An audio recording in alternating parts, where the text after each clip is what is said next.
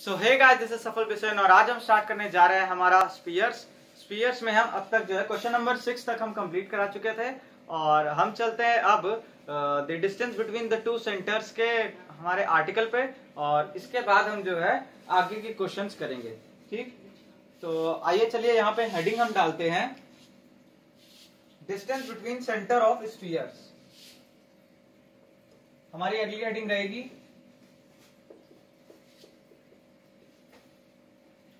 distance between centre of sphere.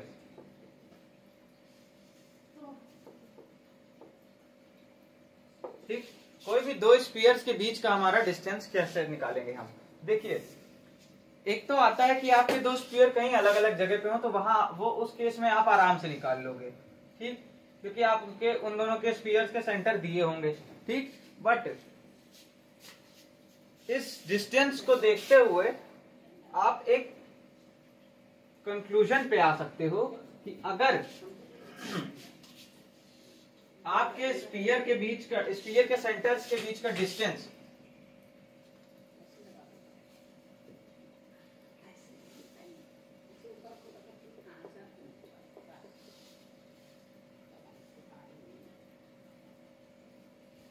या फिर आप कह सकते हो कि distance between center of sphere becomes equal to radius 1 minus radius 2 यानी कि is equal to the difference between their radius ठीक? तो उस केस में क्या होगा? या आप इस तरह से लिख लीजिए. Difference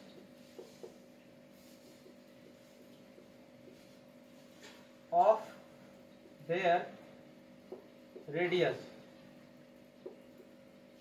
अगर ये कंडीशन आपकी आती है, तब आप इमेजिन करिए स्पीयर हमारे होंगे किस तरह से, ठीक? तो हमारे जो स्पीयर होंगे उस केस में, वो कुछ इस तरह से होंगे। कि मान लेते हैं ये हमारा एक स्पीयर होगा, ठीक? और इसके बाद अगर यही एक पॉइंट पे टच करते हुए, हमारा दूसरा स्पीयर बन जाएगा, ठीक? तो इस स्पीयर का सेंटर ये, इस स्पीयर का सेंटर ये, ठीक? इन दोनों के सेंटर के बीच का डिस्टेंस इतना, ठीक? इस स्पीयर का जो है रेडियस कितना? ये, इस स्पीयर का रेडियस कितना? ये, ठीक? अगर इन दोनों के बीच का जो हमारा सेंटर का डिफरेंस है डिस्टेंस है, इन दोनों के difference between the centre of the sphere ठीक? मतलब कि ये जो डिस्टेंस है between the centre of the two sphere जब हमारे इन दोनों रेडियस के डिफरेंस के इक्वल हो जाएगा तो इसका मतलब कि हमारा जो सर्कल है, वो हमारा जो है इंटरनली टच हो रहे होंगे एक दूसरे से, ठीक? मैं इसको इस तरह से समझाता हूँ। कि ये हमारा तो एकदम पॉइंट पे आ गया। हम इस सर्कल को थोड़ा बड़ा बना लेते हैं। ठीक? तब आपको अच्छे से समझ में आएगा।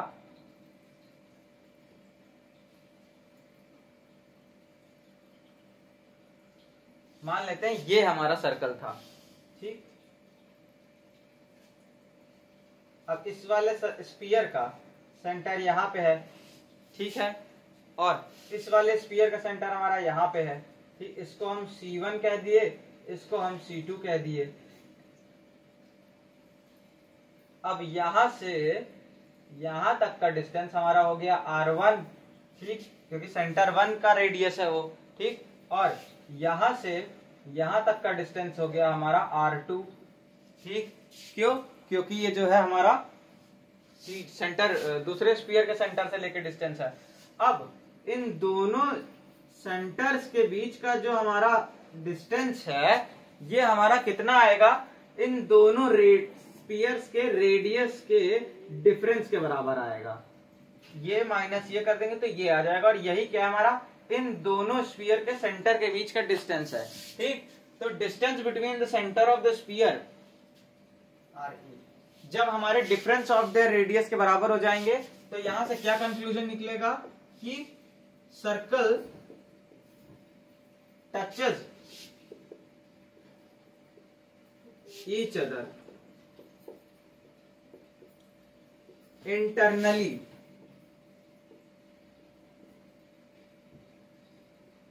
ठीक? सर्कल जो है एक दूसरे को इंटरनली टच कर रहे हैं। अब ये किसी एक पॉइंट पे हो रहा होगा तो वहाँ पे हमारी एक प्लेन भी आ सकती है। ठीक? वो प्लेन की इक्वेशन हमें निकालना आता है जो कि टेंजेंट प्लेन होती है। अब चाहे वो इस स्पीयर पे हम टेंजेंट प्लेन निकाले, चाहे इस स्पीयर पे टेंजेंट प्लेन निकाले प्लेन हमारी सेम रहेगी। ठीक? चलिए, ये चीज़ आप नोट कर लीजिए। इसके बाद हम चलते हैं कि कब हमारा सर्कल एक्सटर्नली टच करेगा और उसको भी डायग्राम के थ्रू शो करने की कोशिश करते हैं। इसको आप नोट कर लीजिए।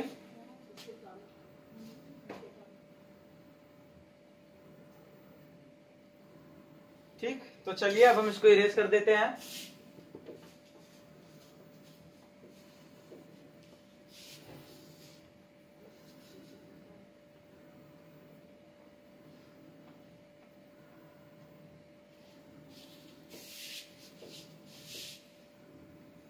अब अगला आता है, अगर।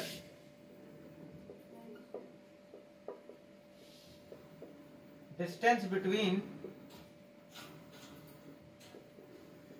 centre of sphere becomes equal to the sum of their radius.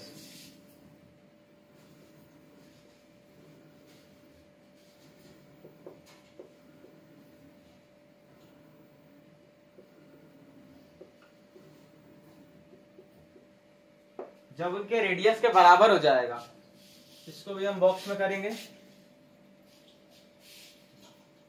ठीक तब क्या होगा? आइए देखते हैं।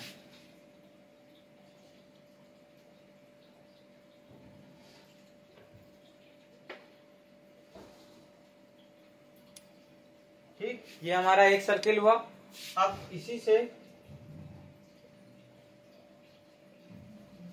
टच करता हुआ हमारा दूसरा सर्किल होगा ठीक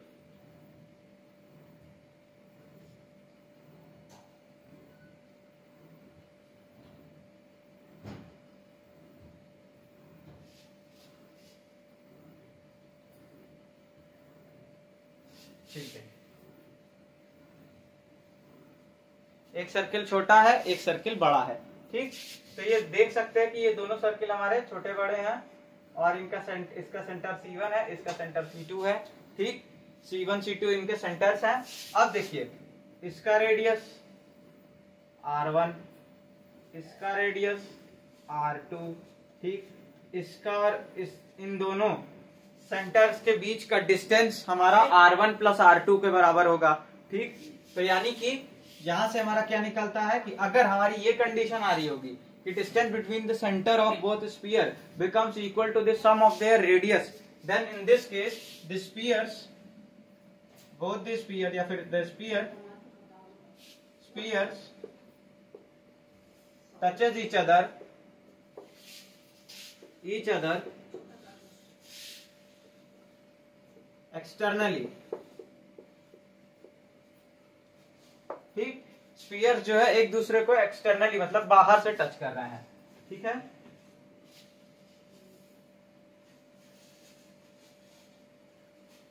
अब बना है परफेक्ट गोल तो चलिए।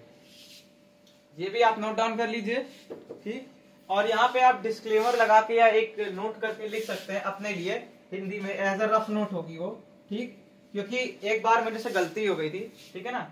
मुझे लगा था कि क्योंकि जब मैं पढ़ा था इसको सबसे पहली बार तो मैंने बराबर स्पीयर्स बनाए थे, ठीक? और बराबर स्पीयर्स बना के सेंटर कर दिया था और उसके बाद कनेक्ट कर दिया था, और फिर मतलब ये कर दिया था सी ये सी ये ये हमारा आर वन ये हमारा आर टू हाँ हम समझ गए कि इन दोनों सेंटर्स के बीच का डिफरेंस अगर हमारा जो है, दोनों रेडियस के सम के बराबर आता है तो हमारा जो है एक्सटर्नली टच करेगा, ठीक? कई बार पूछा जाता है कि ये पॉइंट ऑफ़ कॉन्टैक्ट बताइए, ठीक? तो पॉइंट ऑफ़ कॉन्टैक्ट मैंने घटा से क्या किया? उन दोनों को ज्वाइन करने वाली लाइन निकाल ली और उसका मिड पॉइंट का वेक्टर वो निकाल लिया हमने, ठीक? और मिड पॉइंट हमने सॉल्व करके उस पॉइंट से पास करने वाली एक टेंजेंट प्लेन की इक्वेशन निकालने को पूछा तो मैं लिख दी थी, ठीक? लेकिन वो गलत आया था। क्यों? क्योंकि देखिए, ज़रूरी नहीं है कि हमारा ये जो रेडियस है और ये रेडियस बराबर हो। ज़रूरी नहीं है कि इन दोनों को ज्वाइन करने वाली लाइन के मिड पॉइंट पे ही हमारा पॉइंट ऑफ़ कांटेक्ट मिले, है ना? और इसीलिए ये गलती हुई थी। तो यहाँ पे लिख लीजिएगा, आप अपनी लैंग्वेज में हिंदी में ही लिख लीजिए भले ही कि point of contact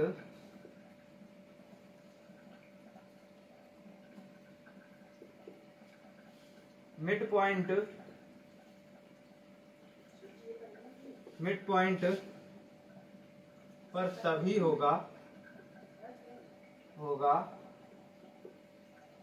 जब दोनों स्पीयर्स का रेडियस सेम हो। ठीक? इस तरह से आप अपनी लैंग्वेज में जो है लिख लीजिएगा। तो इसको नोट कर लीजिए। इसके बाद हम चलते हैं हमारे क्वेश्चन नंबर सेवन पे।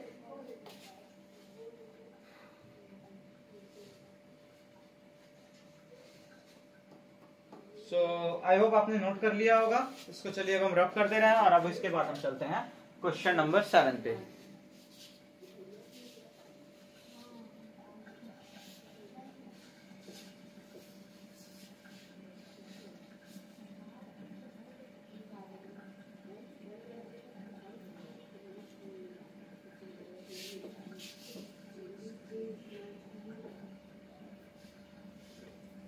चलिए मैं क्वेश्चन नंबर सेवन लिख लेता हूँ।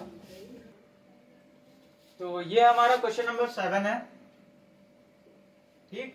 और क्वेश्चन नंबर सेवन कह रहा है show that the sphere this and this touches internally and find their point of contact ठीक? इंटरनली कब टच करता था? इंटरनली तब टच करता था जब उनके सेंटर्स के बीच का जो डिस्टेंस है वो हमारे रेड, उनके रेडियस के डिफरेंस के बराबर आ जाता है। ठीक? तो यहाँ से हम अपना सोल्यूशन लिखेंगे। सबसे पहले गिवन आपको गिवन क्या है? Equation of spheres equation of spheres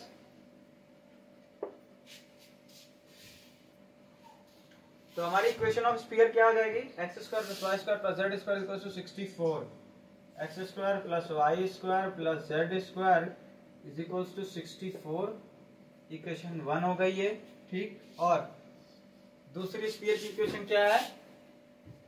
And x square plus y square plus z square minus twelve x plus four y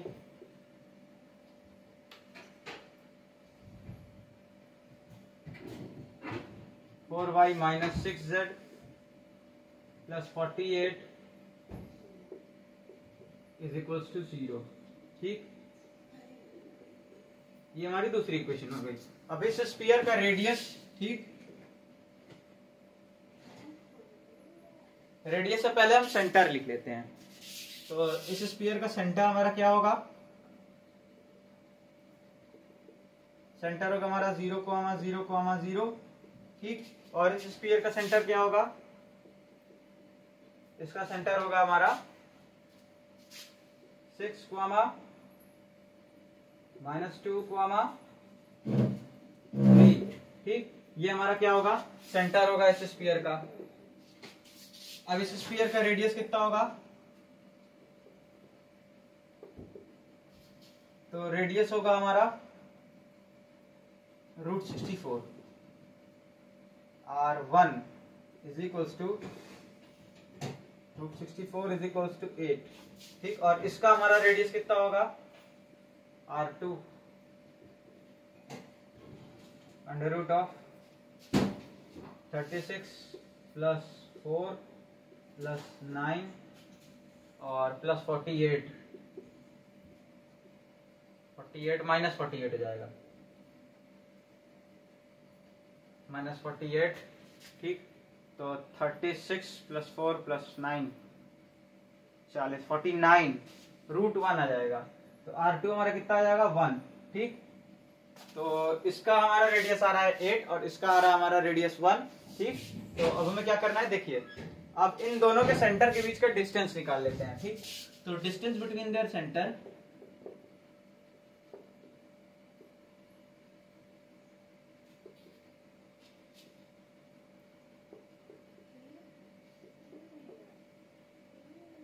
ठीक distance between the centre of both spheres, वो कितना आएगा हमारा? Is equals to under root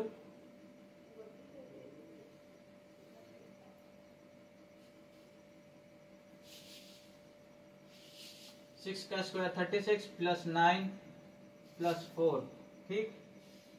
sorry plus four nine बाद में आएगा। पहले two का स्क्वायर होगा ना? फोर और नाइन ठीक? इस ये कितना हो जाएगा हमारा? Forty nine seven. ठीक? यानी कि सेवन इनके बीच का डिस्टेंस आया।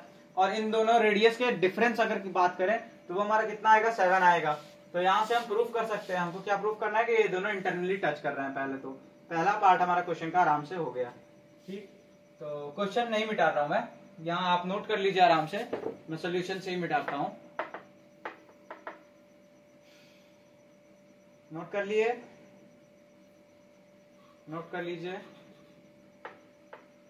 तो चलिए, अब मैं इसको इरेज कर दे रहा हूँ।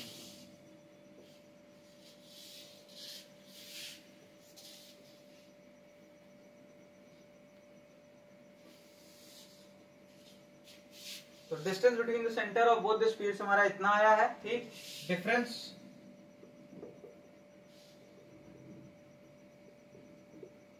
between their radius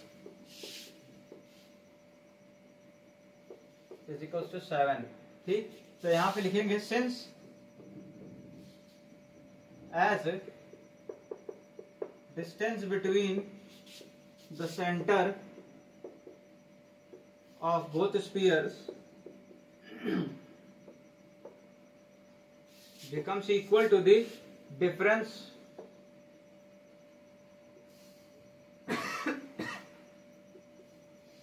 between their radius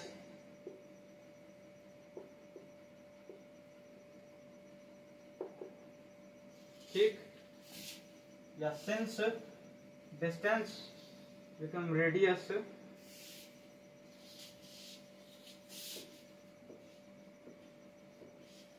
so both the sphere touches each other internally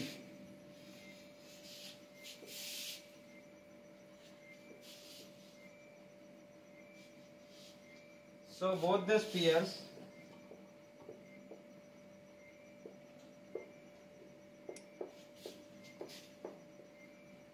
touches each other. Internally. ठीक? तो दोनों स्पीयर एक दूसरे को किस तरह से टच कर रहे होंगे? इंटरनली टच कर रहे होंगे। ठीक? ये हमने प्रूफ कर दिया। अब हमको क्या निकालना है? पॉइंट ऑफ़ कांटेक्ट निकालना है। तो जब हम पॉइंट ऑफ़ कांटेक्ट निकालने की बात करते हैं तो यहाँ पे हमको डायग्राम की ज़रूरत आती है। ठीक?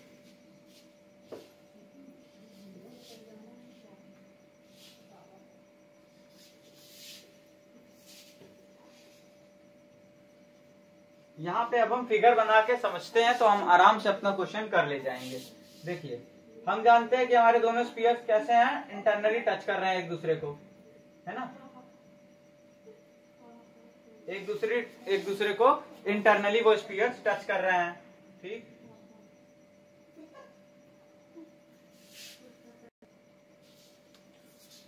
तो ये देखिए, अब हमको क्या निकालना है कि ये जो पॉइंट ऑफ़ कांटेक्ट है, हमको यही पॉइंट ऑफ़ कांटेक्ट निकालना है। इस स्पीयर का सेंटर यहाँ पे है, इस स्पीयर का सेंटर यहाँ पे है, ठीक?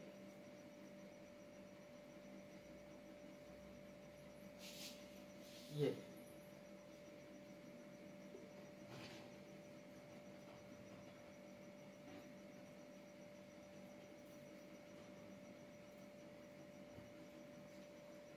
इस तरह से है हमारा।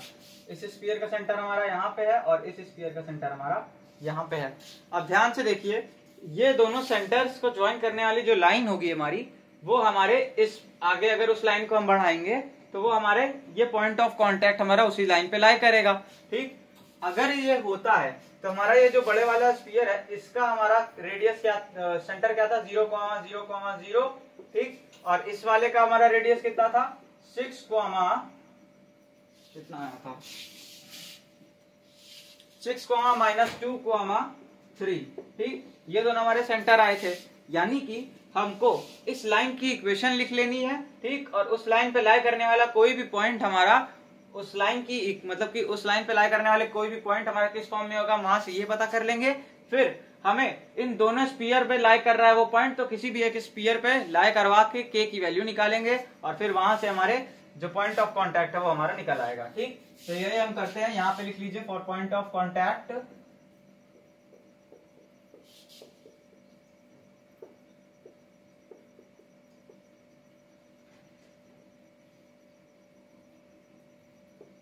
ठीक? पॉइंट ऑफ़ कॉन्टैक्ट के लिए। तो ये हमारा क्या होगा?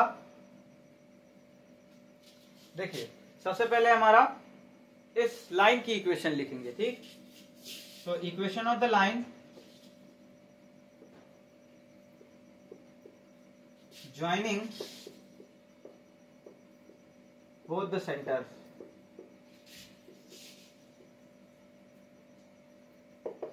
ठीक तो कितनी होगी हमारी?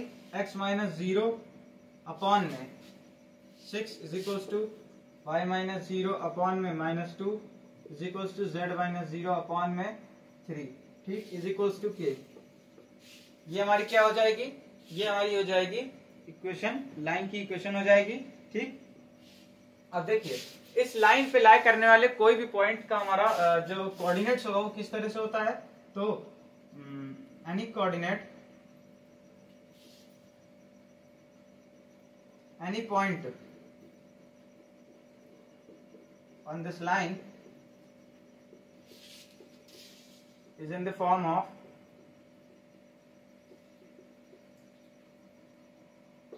किस फॉर्म का होगा वो? सिक्स के सिक्स के क्वामा माइनस टू के क्वामा थ्री के ठीक? इस फॉर्म का होगा। As the point of contact lies on this line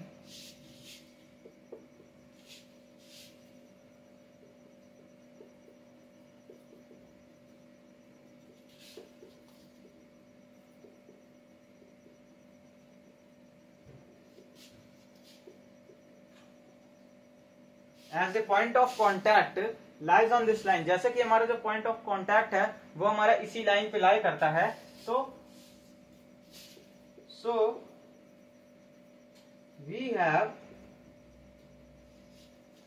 the point of contact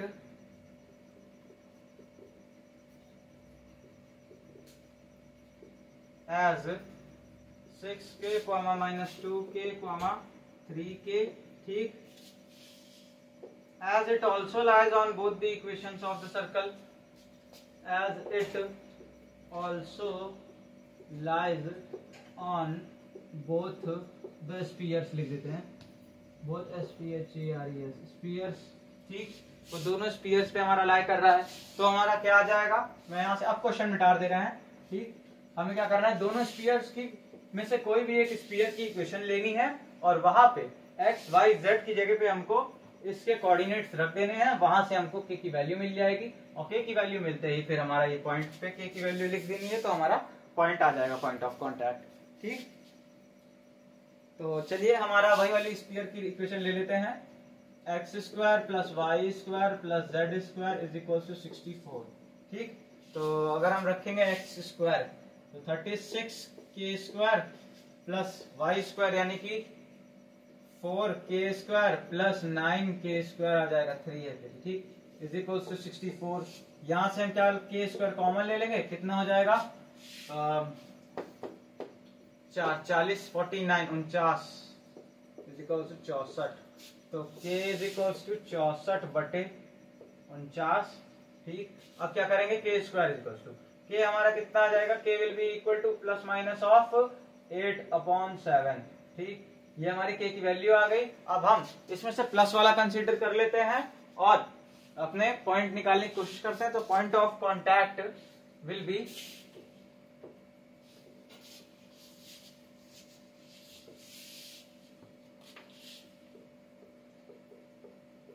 point of contact will be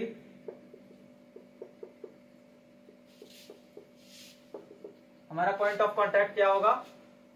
वो आ जाएगा हमारा six eight upon seven six eight forty eight forty eight by seven comma eight two minus sixteen upon seven eight three twenty four upon seven ये हमारा point of contact आ जाएगा। एक बार check कर लेता हूँ answer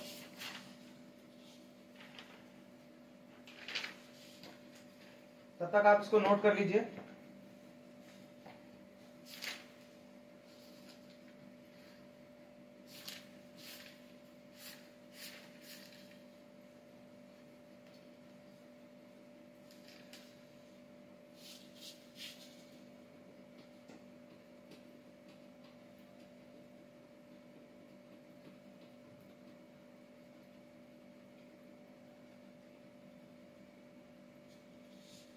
Forty eight by seven minus sixteen by seven twenty one by seven ठीक है। Twenty one by seven हाँ हाँ twenty one by seven twenty twenty four by seven लिखा हाँ। ट्वेंटी फोर बाई सेवन भाई मैं कहूँ।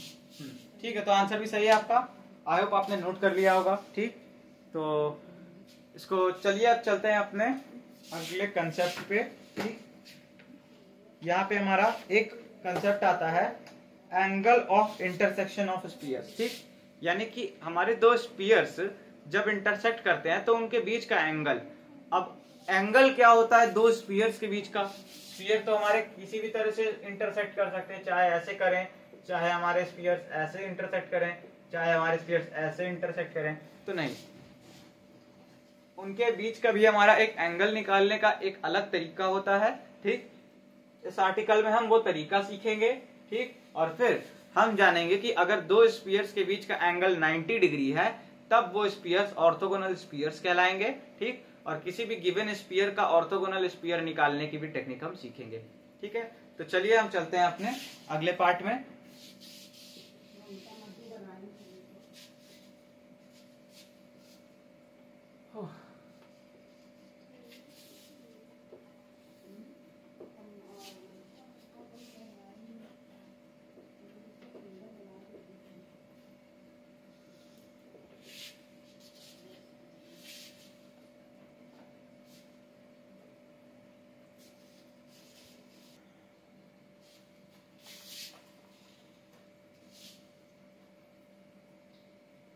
तो अब अगला स्टेप रहता है हमारा, अगली हेडिंग रहेगी angle of intersection of two spheres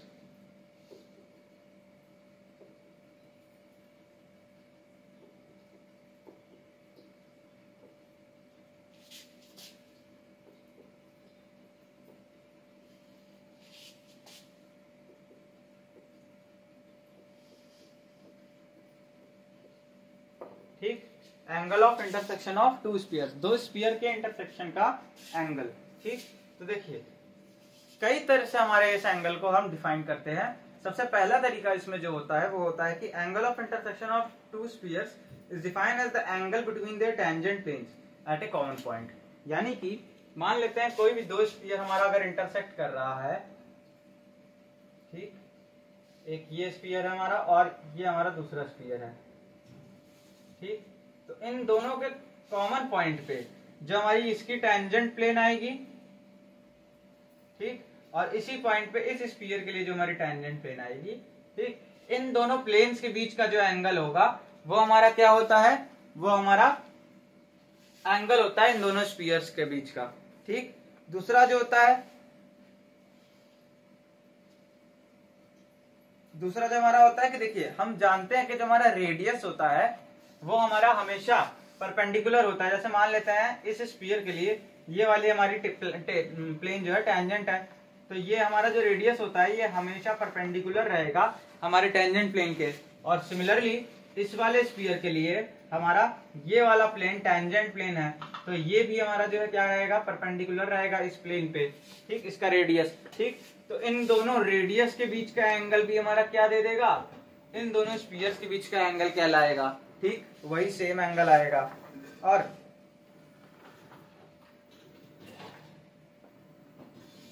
हाँ बस यही दो तरीका होता है, ठीक? तो ये दो तरीके से हमारा एंगल डिफाइन किया जाता है। अब देखिए, आप कोई भी एक तरीका ले लीजिए, ठीक? मैं ये कहूँगा कि जो है,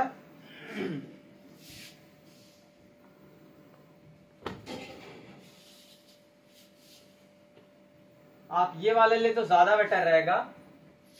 ये रेडियस वाला।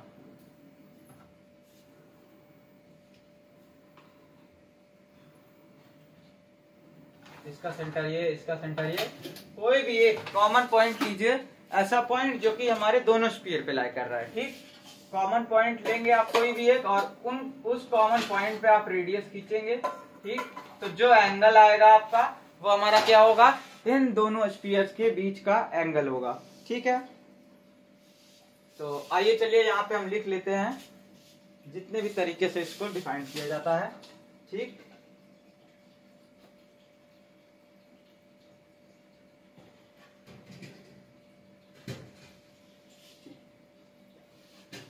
तो यहाँ पे लिखेंगे पहला, ठीक है ना?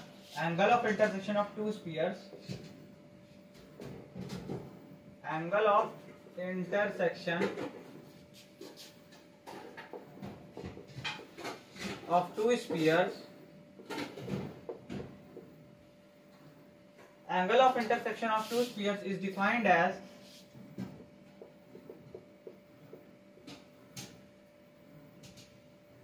as angle between the tangent planes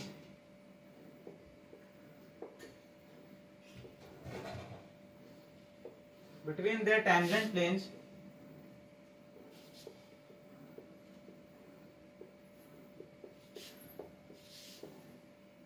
at a common point.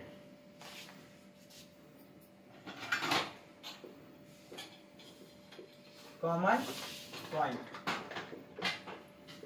ठीक? किसी कॉमन पॉइंट पे उनके टेंजेंट प्लेन्स के बीच का एंगल और दूसरा जो हमारा रहता है, वो क्या रहता है? ठीक? angle of intersection.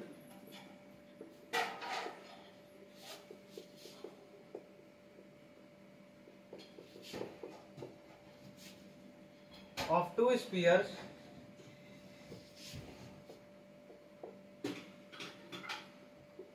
Is defined is also defined as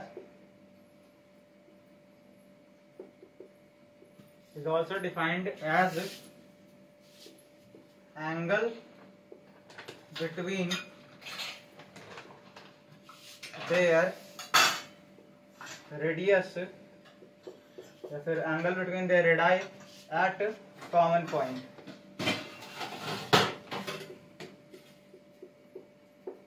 ठीक? इनके कॉमन पॉइंट पे इन दोनों के बीच का एंगल हमारा मान लेते हैं, अगर थीटा है तो थीटा कहलाया जाएगा कि इस रेडियस मतलब इन दोनों स्पीयर्स के बीच का एंगल है, ठीक? अब भले ही एक स्पीयर बड़ा हो और एक स्पीयर छोटा हो, ठीक है ना? ये छोटा वाला, ये बड़ा वाला है। तब भी जो है, इनके कॉमन पॉइंट पे जो एंगल बनेगा, ये होगा क्या हमारा? ये होगा हमारा angle between the two spheres या फिर टू इंटरसेक्टिंग स्पीयर्स ठीक? अब बात आती है कि दो इंटरसेक्टिंग स्पीयर्स के बीच का एंगल अगर 90 डिग्री होगा, तब उन दोनों स्पीयर्स को हम क्या कहेंगे? ऑर्थोगोनल स्पीयर्स कहेंगे। तो चलिए हम लिख लेते हैं। यहीं पे लिख लेते हैं। If the angle of intersection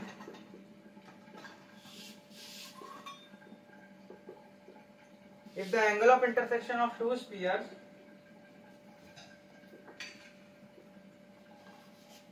is five by two then such spheres is called is called orthogonal spheres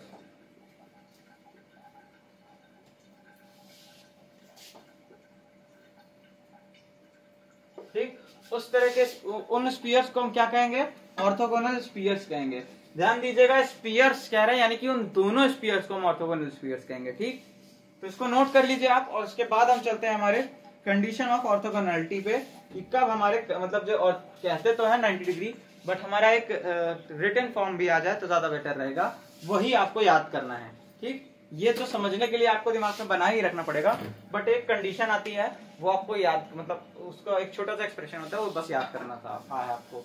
इसको नोट कर लीजिए आप तब तक।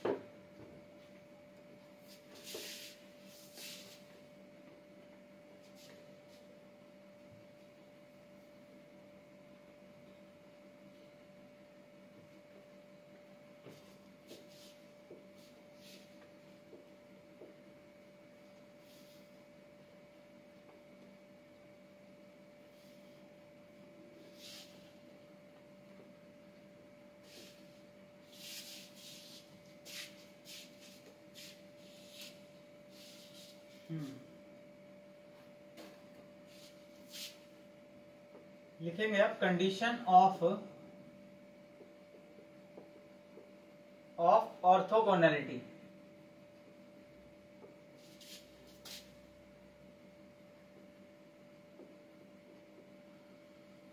doctor ortho वाला डॉक्टर ऑर्थो नहीं है। ऑर्थोगोनलिटी है, ठीक है ना? कंडीशन ऑफ़ ऑर्थोगोनलिटी ठीक? इसको आप डॉक्टर और मत समझ लीजिएगा। तो चलिए। देखिए, हम साफ़ साफ़ जानते हैं कि ऑर्थोगोनल स्पीयर्स हमारे वही स्पीयर्स होते हैं जो इंटरसेक्ट करके 90 डिग्री एंगल बना रहे होते हैं। ठीक? तो सबसे पहले क्या करते हैं? पॉइंट लेते हैं। ये आप भी कर सकते हो। डायग्राम बनाने का एक तरीका रहता है। ठीक? एक पॉइंट लीजिए, एक लाइन आप ऐसे खींच दीजिए। ठीक? और एक लाइन आप छोटी सी 90 डिग्री के कोण पे खींच दीजिए। ठीक? 90 डिग्री के एंगल पे। ये, ठीक? अब क्या करना है? यहाँ से एक स्पीयर आपको ड्रॉ कर देना है। ठीक?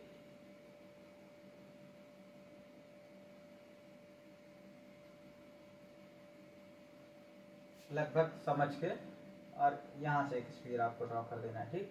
अब उसके बाद आप अंदाजन में स्पीयर बना ले जाओगे। मतलब आपको हल्की पेंसिल से ड्रॉ करना है। फिर आप आराम से जो है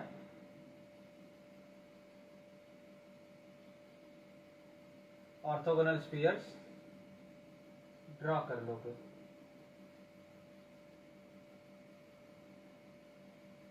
हाँ कॉपी में थोड़ा मुश्किल होता है, बोर्ड पे आसान हो जाता है ठीक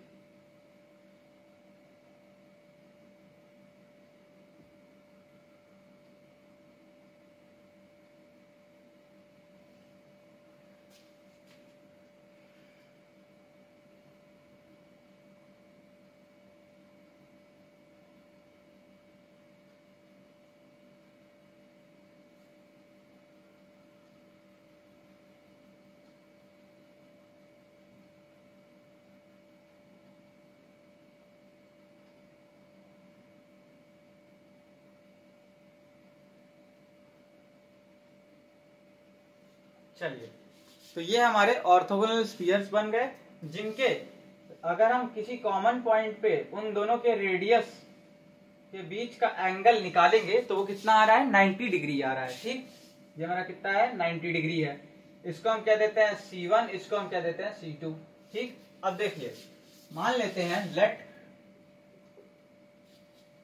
the equation of both the spheres both spheres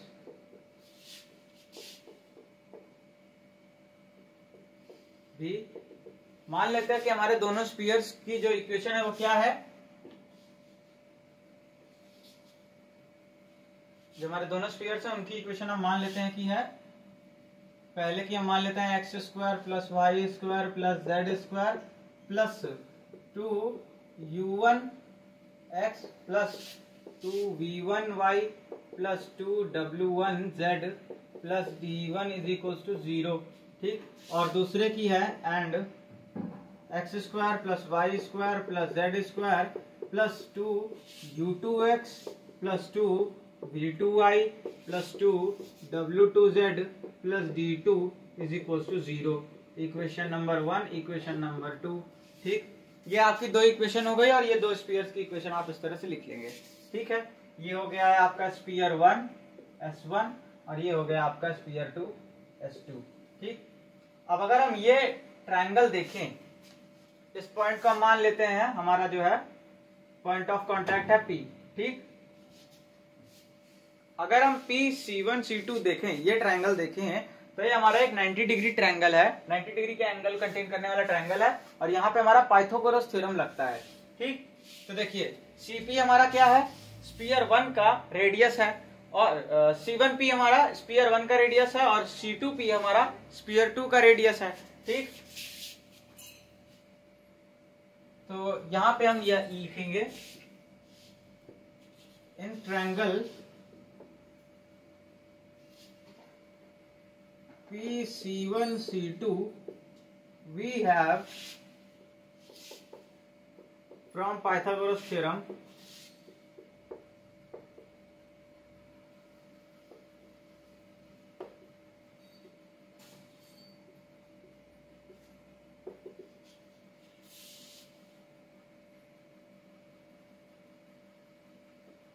PC1 square plus p c two square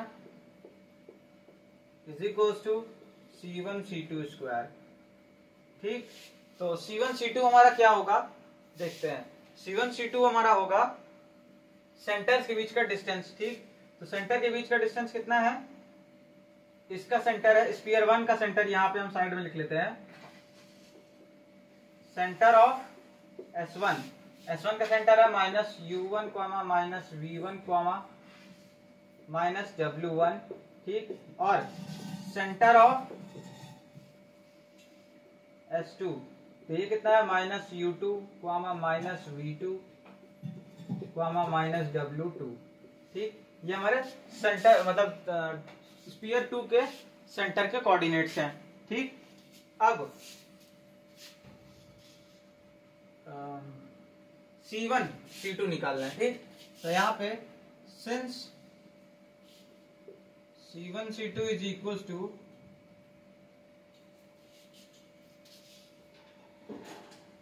U2 minus U two minus of U one यानी कि प्लस ऑफ़ यू वन तो ये U one minus U two आ जाएगा, ठीक? यानी U one minus U two whole square plus V one minus V two का whole square plus W one minus W two का whole square ठीक? ये हमारा क्या आ गया? सी वन सी टू आ गया। इसका अंडर रूट इन दोनों के बीच का डिस्टेंस आ गया। अब अगर स्क्वायर करते हैं तो सी वन सी टू हमारा क्या आ जाएगा? अंडर रूट हट जाएगा हमारा। ठीक? चलिए। रूट हट गया तो हमारा सी वन सी टू ये आ गया। अब पीसी वन और पीसी टू कितना आएगा? तो पीसी वन हमारा, उसका पहले स्फीयर का रेडियस है तो पीसी वन कितना होता है? PC one is equal to under root of u one square u one square plus v one square plus W one square minus d one ठीक? और सिमिलरली पीसी टू कितना होता है? Under root of u two square plus v two square v two square plus W two square minus d two ठीक? ये हमारा क्या होता है? टीसी टू होता है। तो अब हम इनकी वैल्यूज़ अगर यहाँ पे इस इक्वेशन में रखते हैं, अगर हम इनकी वैल्यूज़ इस इक्वेशन में रखेंगे तो हमको क्या मिलेगा?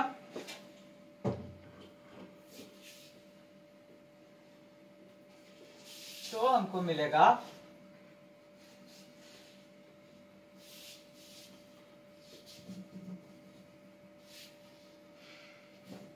U one square plus V one square plus W one square minus D two D one plus U two square plus V two square plus D W two square minus D two is equals to ये U one minus U two का whole square है। यानी कि U one square plus U two square U two square minus two U one U two इसको मैं diagram मिटा दे रहा हूँ। Plus V one square plus V two square minus two V one V two plus W one square plus W two square minus two W one W two ठीक? तो U one U two U one U two cancel V one V two V one V two cancel W one W two और W one और W two cancel ठीक? अब D one D to को उधर ले जाते हैं और two U one U two two V one V two और minus two U W one को इधर ले आते हैं तो ये आ जाएगा two U one U two plus two V one V two plus two W one W two is equals to D one plus D two और यही है हमारी कंडीशन ऑफ़ ऑर्थोगोनैलिटी ठीक? ये क्या है हमारी? कंडीशन ऑफ़ ऑर्थोगोनैलिटी ठीक? यानी कि अगर कोई भी दो स्पीयर की इक्वेशन दी हुई हो और कहा जाए कि आपको बताना है कि ये स्पीयर हमारे ऑर्थोगोनल स्पीयर है कि नहीं तो आप क्या करोगे? Simple u1 one v one W one और u2 two we two W two निकालोगे d1 और d2 भी निकाल लोगे, और फिर ये आप सेटिस्फाई करोगे कि two U one U two plus two V one V two plus two W one W two is equal to D one plus D two आ रहा है कि नहीं? अगर आ रहा होगा तो वो दोनों स्पीयर हमारे ऑर्थोगोनल स्पीयर्स होंगे, और अगर नहीं आ रहा होगा तो वो दोनों स्पीयर हमारे ऑर्थोगोनल स्पीयर नहीं होंगे।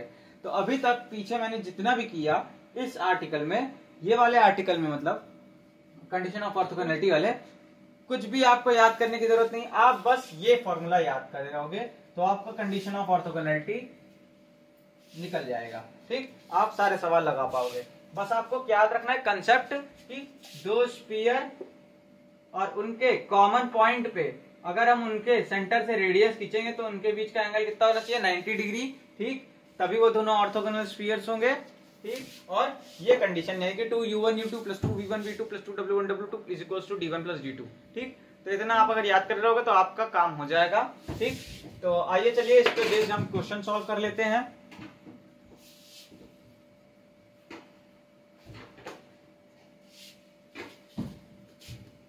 तो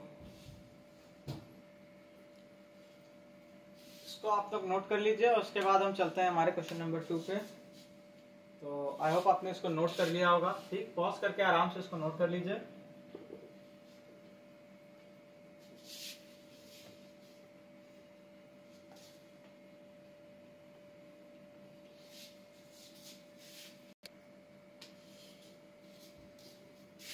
तो जो हमारा क्वेश्चन नंबर एट है पेज नंबर 104 पे, ठीक, वो आप खुद से करेंगे, ठीक है? उसका सोल्यूशन आप प्रोफेसर से पूछिएगा।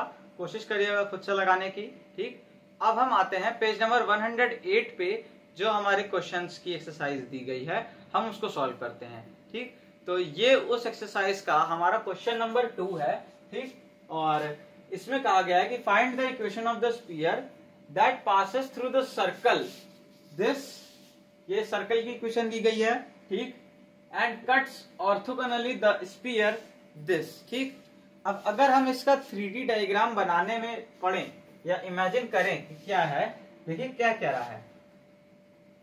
Find the equation of the speed that passes through the circle यानी कि एक सर्कल है। सर्कल हमारा कैसे बनता है? ठीक? सर्कल बनाने के लिए हमको एक स्पीयर और एक प्लेन की ज़रूरत पड़ती है। ठीक? मान लेते हैं ये हमारा वो स्पीयर है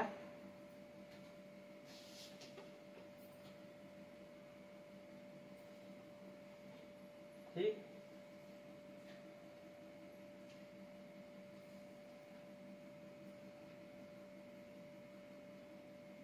मान लेते हैं कि ये हमारा वो स्पीयर है और ये हमारा वो सर्कल है, ठीक? जो कि हमारे स्पीयर पे लाई कर रहा है। अब हमको क्या कह रहा है?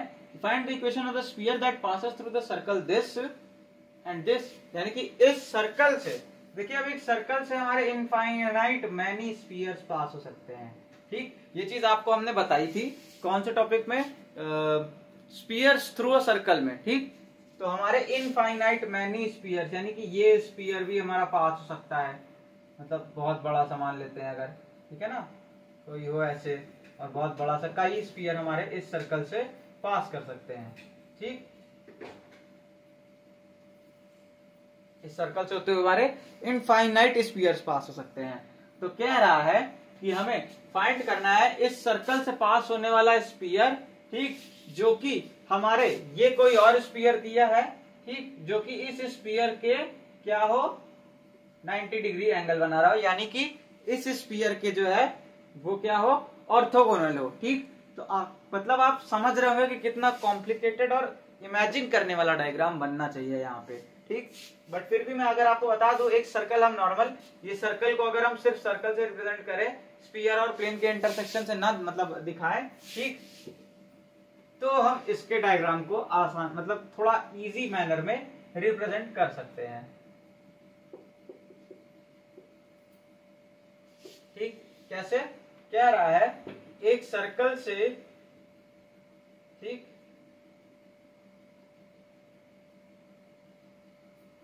पास होने वाले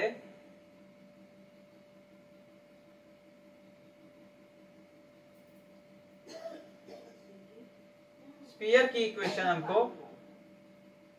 ठीक? एक सर्कल से पास होने वाले स्पीयर की इक्वेशन हमको बतानी है, जो कि हमारे इस स्पीयर को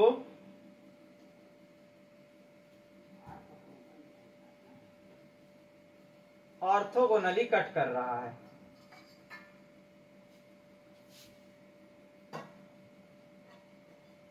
ठीक? तो आई होप आपको समझ में आ रहा होगा कि क्या डायग्राम बनना चाहिए। ठीक है? तो हमें इस स्पीयर की इक्वेशन निकालनी है, जो कि इस सर्कल से पास हो रहा हो और इस गिवन स्पीयर को 90 डिग्री एंगल बना रहा हो, यानी कि ऑर्थोगोनली कट कर रहा हो। तो चलिए आइए हम इसको सॉल्व करते हैं। इसका सोल्यूशन आपका रहेगा इस तरह से। सबसे पहले हम क्या लिखेंगे? हमारी गिवन क्या है? Equation of sphere. Equation of circle, ठीक? Equation of circle. X square plus y square plus z square minus two x plus three y minus four z plus six is equals to zero, ठीक? Comma three x minus four y plus five z minus fifteen is equals to zero ठीक? ये हमारा क्या है? ये हमारे circle की equation है। ठीक? अब इस सर्कल से पास होने वाला स्पीयर उसकी इक्वेशन क्या होगी? ठीक? So the equation of spheres ढेर सारे sphere passing through passing through the circle इसको हम कह देते हैं one passing through the circle one ठीक? तो उनकी इक्वेशन क्या होगी हमारी? X square plus y square plus z square minus two x plus three y minus four z plus six plus lambda times of three x minus four y plus five z minus fifteen is equals to zero. ठीक? ये हमारी क्या हो गई? उन सारे sphere की equation हो गई जो कि हमारे इस सर्कल से होकर पास कर रहे हैं। ठीक? तो इसको अगर हम और थोड़ा सॉल्व करके लिखे तो ये हमारा कैसा हो जाएगा? X square plus y square plus z square ठीक। एक्स अगर कॉमन ले तो plus three lambda minus two into x plus three minus four lambda into y plus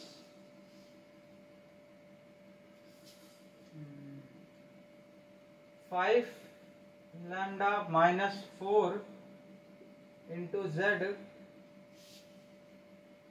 plus six minus fifteen lambda is equal to zero ठीक? ये आपके उस spheres की equation आ गई ठीक? अब मान लेते कि किसी पर्टिकुलर वैल्यू के लिए लैम्डा के किसी पर्टिकुलर वैल्यू के लिए हमारा जो सर, कोई एक पर्टिकुलर वैल्यू अगर हम रख दे लैम्डा की तो हमारी ये जो इक्वेशन है, ये एक स्पीयर को डिफाइन करने लगे या एक स्पीयर को की इक्वेशन बन जाए, ठीक? और वो ऐसा स्पीयर हो जो कि इस स्पीयर के ऑर्थोगोनल मतलब स्पीयर हो, वो वाला स्पीयर ठीक? यानी इस स्पीयर से 90 डिग्री एंगल बना रहा हो इंटरसेक्ट करने पे, ठीक? तो यानी कि इस केस में, यहाँ पे हम क्या करेंगे? इसको, इस इस स्पीयर की इक्वेशन को हम एक इक्वेशन दे देते हैं। Equation number two now question अभी रेस कर दे रहे हैं हम।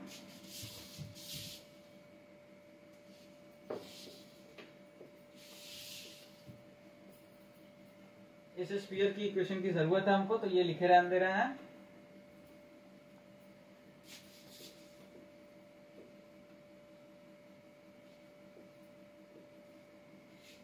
ठीक? तो जैसे कि उसकी ज़रूरत थी तो ये वाले स्पीयर की इक्वेशन लिखते हैं अब यहाँ पे। ठीक? Equation of the given sphere equation of the given sphere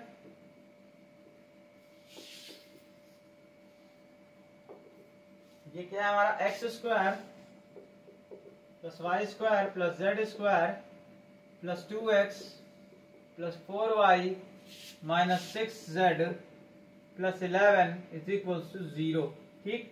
इसको हम लिख देते हैं इक्वेशन नंबर थ्री अब अगर हम ध्यान से देखें तो क्या गिवन है हमको? कि हमारे, ये जो हमारा स्पीयर टू है और स्पीयर थ्री है, ये दोनों क्या है हमारा? ऑर्थोगोनल स्पीयर्स हैं। ठीक?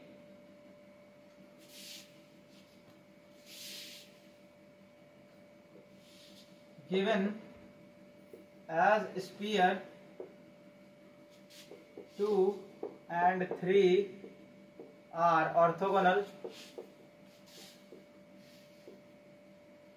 So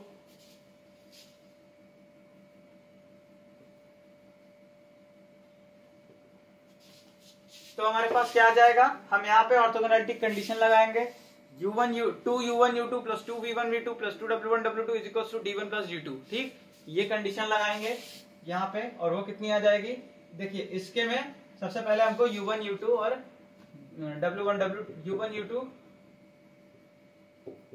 u1 v1 w1 d1 और u2 v2 w2 और d2 लिखना होगा इसके लिए। तो u1 हमारा कितना है? U1 आ जाता है टू से डिवाइड करा वन वी वन हमारा कितना है? फोर टू से डिवाइड कर टू और डब्ल्यू वन हमारा कितना है? माइनस थ्री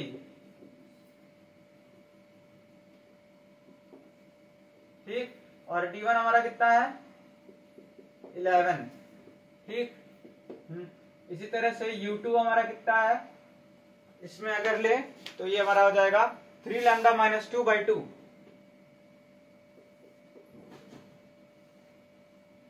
v two हमारा कितना है?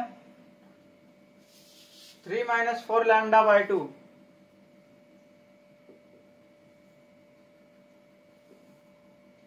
v डब्ल्यू टू हमारा कितना है? Five lambda minus four by two और डी टू हमारा कितना है?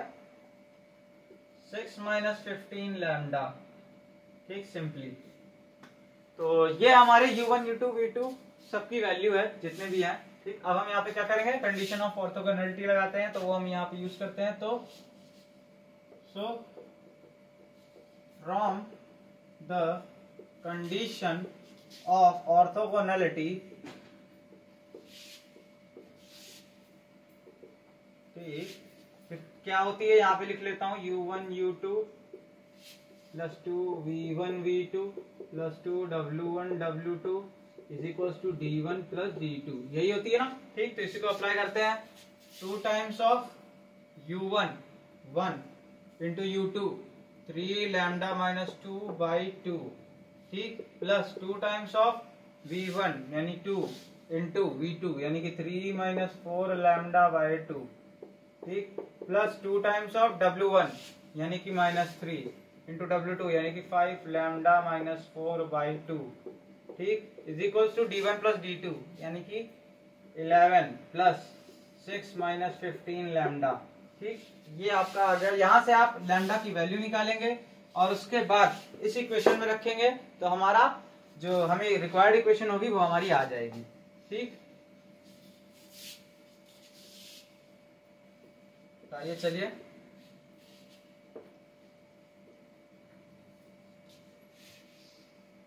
तो अभी लैम्डा की वैल्यू हमको सॉल्व करनी है। ये से ये कैंसिल आउट होता जाएगा। हर जगह ये हो जाएगा थ्री लैमडा माइनस टू ये हो जाएगा plus six minus eight lambda ये हो जाएगा minus fifteen lambda minus minus plus twelve is equals to seventeen minus fifteen lambda तो यहाँ से लैम्डा की वैल्यू कितनी निकलेगी? पंद्रह पंद्रह गया। ठीक। और तीन और आठ माइनस पाँच इधर जाएगा। Five lambda is equal to minus दो छ और बारह, यानी कि दस और सोलह। सत्रह इधर आएगा माइनस वन ठीक? यानी कि माइनस वन यानी लैमडा हमारा कितना आ रहा है यहाँ से? माइनस वन बाई फाइव हमारा लैमडा की वैल्यू आ गई, ठीक? अब हमें इस इक्वेशन पे रख देना है लैमडा की वैल्यू और हमारा जो है आंसर आ जाएगा। तो चलिए ये क्वेश्चन एज इट इज़ लिखे रहने देते हैं। ठीक? यहाँ पे लिख देते हैं नाउ ऑन या फिर by using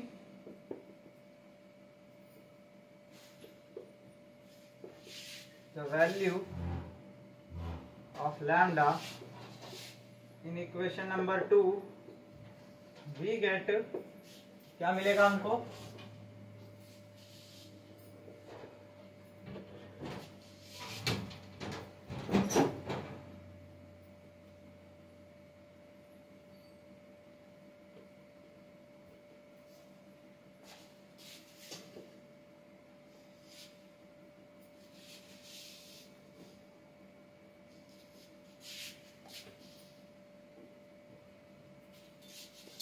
हमको मिलेगा x square plus y square plus z square ठीक? फिर माइनस थ्री बाई फाइव इसको सॉल्व करते हैं। Minus three by five minus two ये हो जाएगा माइनस थर्टीन बाई फाइव है ना? हम्म, यानी minus thirteen upon five x ठीक? फिर इसको सॉल्व करते हैं three plus four into five, नहीं, फोर बाई फाइव, यानी four three fifteen, nineteen by five, ठीक? Plus nineteen upon five y, इसको सॉल्व करेंगे तो ये आ जाएगा फाइव लैम्डा, यानी कि माइनस वन, है ना?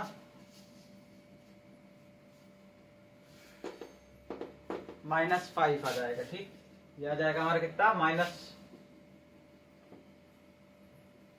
फाइव जेड ठीक? फिर ये कितना आ जाएगा? Six minus fifteen lambda minus three minus minus plus हो जाएगा ये प्लस थ्री यानी नाइन आ जाएगा plus nine is equal to zero ठीक? ये आ गई आपकी इक्वेशन अब इसके बाद हम क्या करते हैं? फाइव से दोनों तरफ़ इक्वेशन के मल्टीप्लाई कर देते हैं। Five x square plus five y square plus five z square minus thirteen x plus nineteen y minus fifty twenty five minus twenty five z plus nine five जो forty five is equal to zero ठीक? तो ये आ गया हमारा answer ठीक? Question number two का. ठीक है? तो चलिए, अब नेक्स्ट लेक्चर से हम जो है बाकी के क्वेश्चंस और जो बाकी के कंसेप्ट हैं, वो पढ़ाएँगे, ठीक? आज का लेक्चर हमारा यहीं पे खत्म होता है। तब तक के लिए पढ़ाई करते रहिए। All the very best